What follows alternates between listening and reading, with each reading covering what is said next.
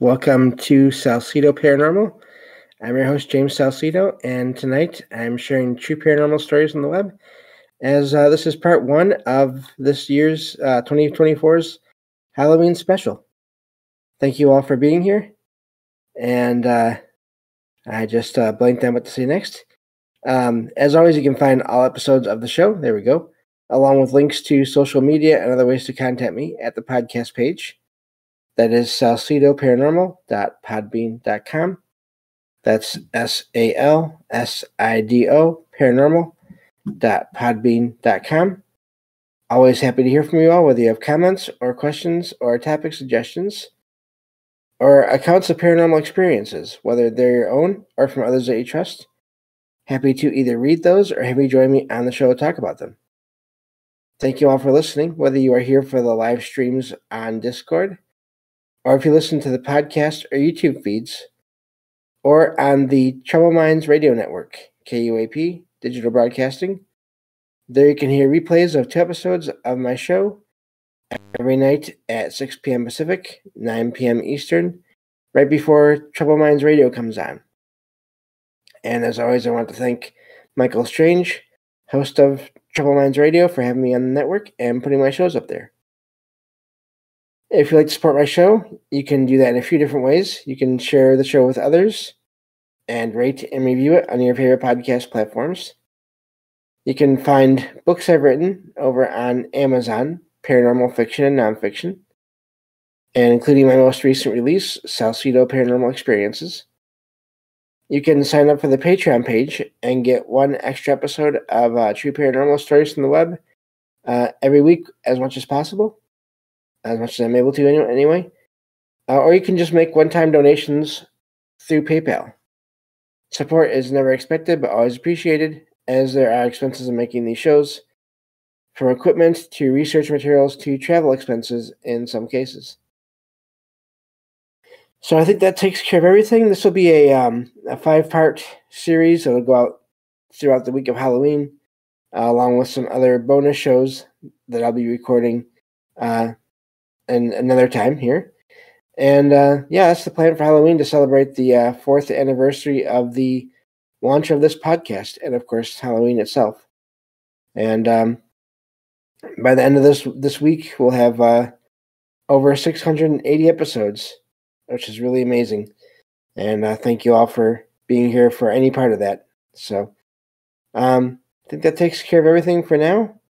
Uh, and uh, yeah, just a, a, note on these uh, true paranormal stories from the web.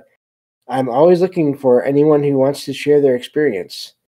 Uh, whether you want to write it in, uh, send it in in a text format, and I can read that, or if you want to join, me on the show uh, to talk about your experiences, uh, just let me know. You can do that through email, uh, salsidoparanormal at gmail.com, or through direct messaging on Discord. So, um, every once in a while we get some of those, or we get a uh, someone that uh, some some story is sent sent in to for me to read, or we'll get someone that wants to join me on the show. And either way is great. Um, names are not required as far as uh, individuals or locations. Um, we can you can be as vague as you want to with uh, where these things take place.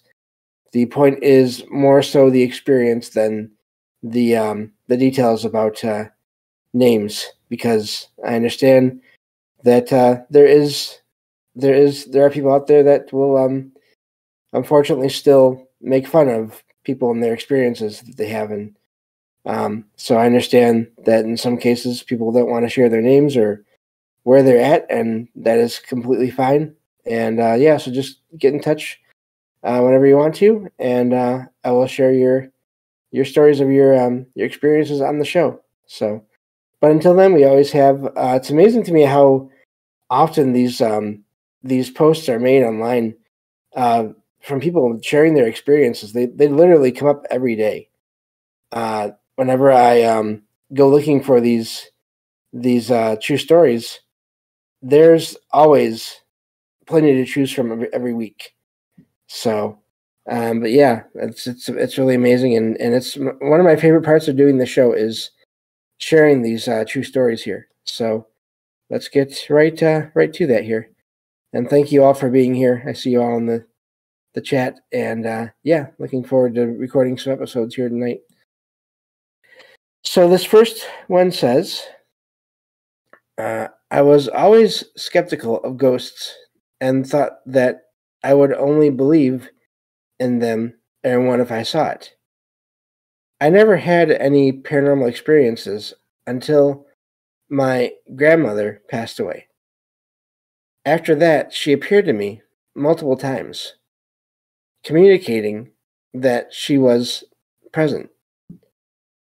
A key turning point was when, while I was home alone, I noticed the entire house smelled of my grandmother's perfume, which uh, convinced me that she was really there. I oh, let me see here. I lost my spot.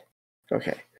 I later realized that for the past two years, there were many times where I thought I saw someone, but when I uh, approached, the person would disappear or become transparent. I had dismissed these events as a sign I might be, in quotation marks here, going crazy, but now I wonder if I was actually seeing ghosts. Could these transparent figures actually be spirits? And that's where that one ends. It's possible. Um, it sounds like this person was seeing something even before their grandma their grandmother passed. Maybe they're sensitive and they don't even realize it. Um, I could I can imagine that happening.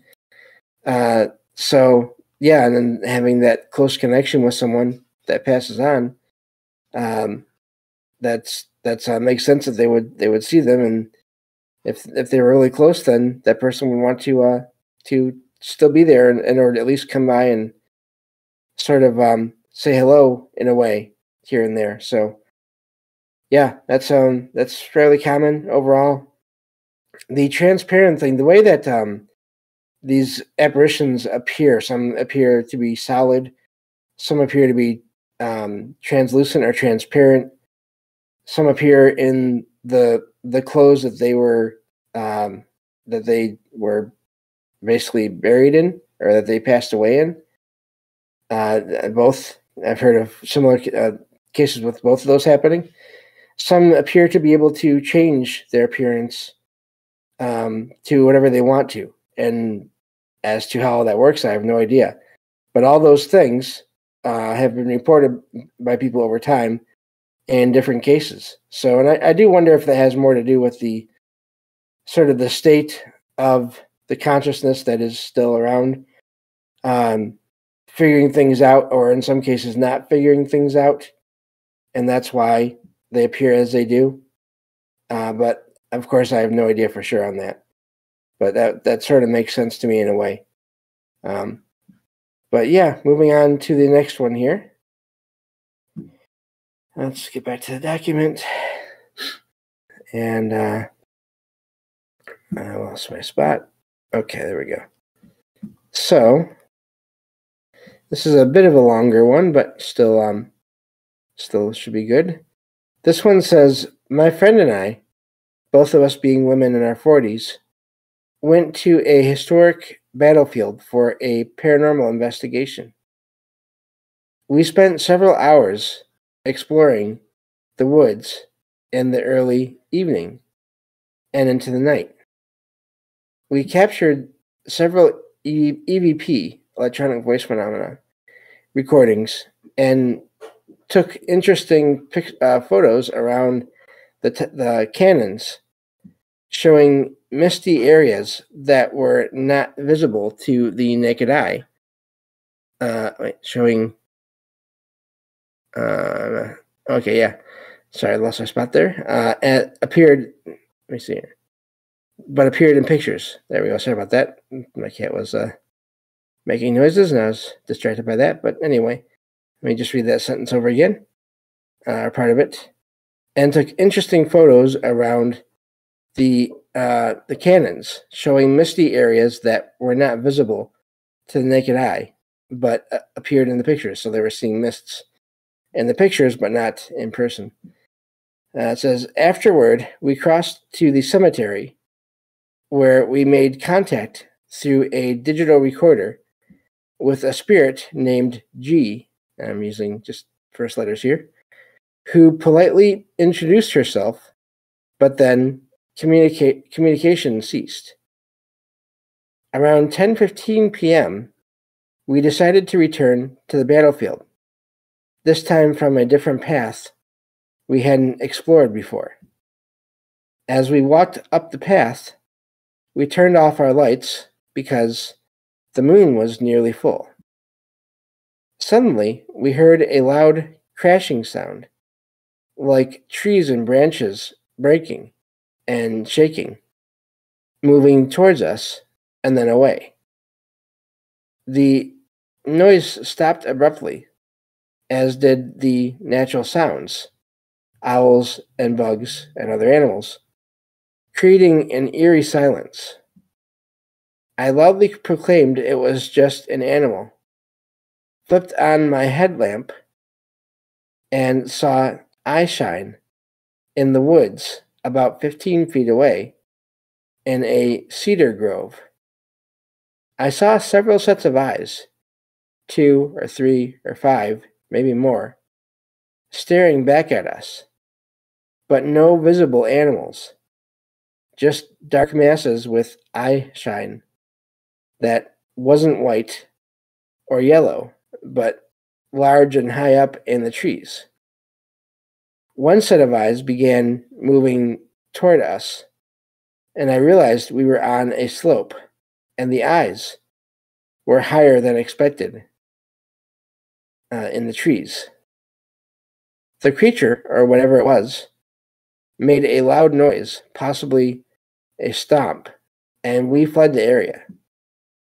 Although I don't know what we encountered, I felt it wasn't harmful, just observing us and warning us, wanting us to leave, which we did. I did an online search for eyeshine images and thought the closest match was a bobcat, but there are no known bobcats in this area, nor do they travel in groups as I saw several sets of eyes. I'm not sure what we encountered. What do you all think? And that's where that one ends. So, makes me wonder about the possibilities of battlefields not just having, let's say, spirits of people or even residual energy from people, but also being hotspots for maybe cryptid activity, maybe other other beings there that somehow feed on that feed on that energy. I, am curious about that. Uh, I don't know. It, it's it's odd that there were so many eyes there and so high up in the tree. I don't know if any kind of cats can really climb high up in a tree like that. I mean, I know I've heard of, of course, domestic cats getting stuck in trees, but this sounds like um, whatever these were, they were big if they were making all that kind of noise, and um, and then if they were only seeing the people were only seeing the eye shine or or light of some kind and then just dark figures. That's that seems odd as well. You would think they would um maybe get a better idea if it was some kind of animal. They would, I don't know, they would be able to figure that out. But uh, just makes me wonder about the possibility of these places um, that are hotspots for one kind of, let's say, one kind of paranormal event, uh, or yeah, event or uh, environment. If they could be uh, hotspots, and I believe I've heard of this before too, for other things, for other types of um, encounters or beings there to, to to either visit or stay there. So that's sort of where my mind went with that that one right there. But um, but yeah, I don't know what they saw, but uh, of course you hear about that in, in different parts of the country where this this particular animal is not supposed to exist there, and yet there are sightings of it there. Um, so I mean, if, if it was them, then if it was the bobcat like they were talking about, then that's um, that's that's odd that they were there when they said that they weren't supposed to be there supposedly. Although I always laugh at that because, in a way, because people saying that animals shouldn't be in an area, that's people. I don't think uh, animals really care what people think about where they should be. So, um, in general, anyway. Anyway, so moving on to the next one here. And uh, let's see. Excuse me. All right. This one says As a teenager, I used to regularly walk my dog around 9 p.m. because of cooler temperatures and the safe neighborhood I lived in. I lived near a school with a large park, making it an ideal area for walks. One night while walking through the park, I noticed an elderly woman holding the hand of a small girl standing under a streetlight. Nothing seemed unusual at first, but the pair of them was not moving much. I greeted them and asked how they were or how they were. To which the old woman responded, "We are waiting for the noise to stop." The neighborhood was completely silent, which made this, this response strange. I suddenly felt an instinctual realization that I might not be talking to living people. After wishing them a good night, I quickly left and returned home and told my parents about the weird experience. I didn't feel threatened by the encounter, and the little girl never spoke, only stood there quietly, holding the woman's hand. I believe the figures might have been spirits of people who had passed, passed on, possibly tied to the house they lived in, but I can't say for sure what I experienced that night. And that's where that one ends. That is an odd phrase, given how quiet it was there. Uh, to have these people say, um, I of course makes me wonder. And because she never spoke, it's impossible to say. But was the little girl hearing the noise too? Excuse me. Um, but yeah, that's a wild one there and the feeling that the writer there just somehow got or figured out their sense from these two people is also something that is common where you just there's nothing in their appearance necessarily that is is strange but you can still sort of tell that there's not there the situation is not normal um i'm wondering again like the writer the writer there mentioned are were are they tied to previous events that happened in the area? I don't know.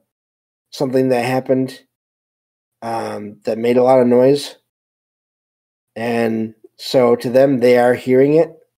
But I mean, I guess it really it could even be some kind of uh, time anomaly where they are there but only seen there and and they're heard, but then everything else that's going on where they're at is not coming through for whatever reason, and the writer there is experiencing uh, seeing these two people there. But um, but yeah, I don't know what to make of that one other other than that, and just the possibility that they might have been spirits of some kind. So makes me wonder, uh, as always, with these sightings that take place in public areas, eh, how often these figures are seen by other people in the area and um, if there's other stories about that. So, moving on to the next one here. I think we can get at least one more in before the uh, this episode has to end. Uh, let's see. This one says, "I worked as an audio technician, uh, fitting radios and cameras into cars, and occasionally repairing chipped windshield or windscreens. About three years ago, a customer came in asking for a chip repair on his windscreen. Being fond of the customer's car model, I went to inspect the chip and agreed to repair it. While inspecting the car, I saw an old woman sitting in the rear driver's side seat and uh, assumed she was the passenger. Once I got back into the store, I informed the customer that the passenger needed to leave the car. The customer was confused, stating he was traveling alone. I was also confused, but handed the keys over to the windscreen repair technician to fix the chip.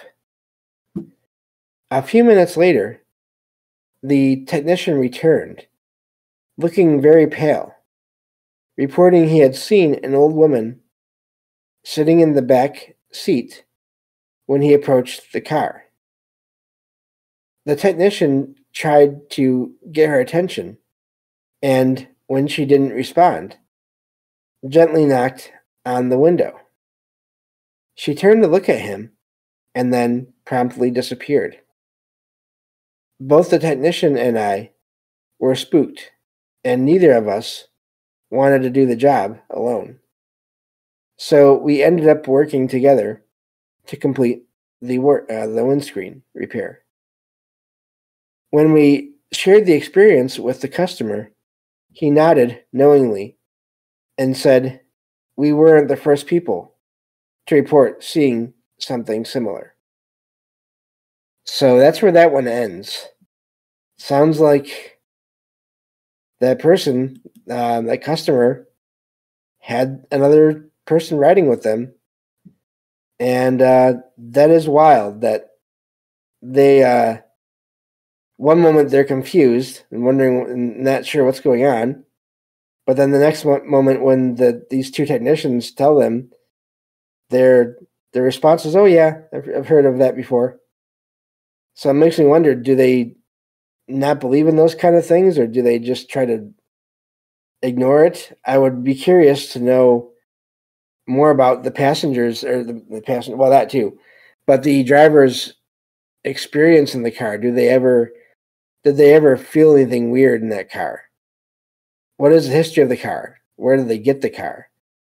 All these qu- questions that, of course, you can't really get answers to, but um, that is an amazing experience. You have two people, and they're in a workplace environment. They're in a a shop, basically.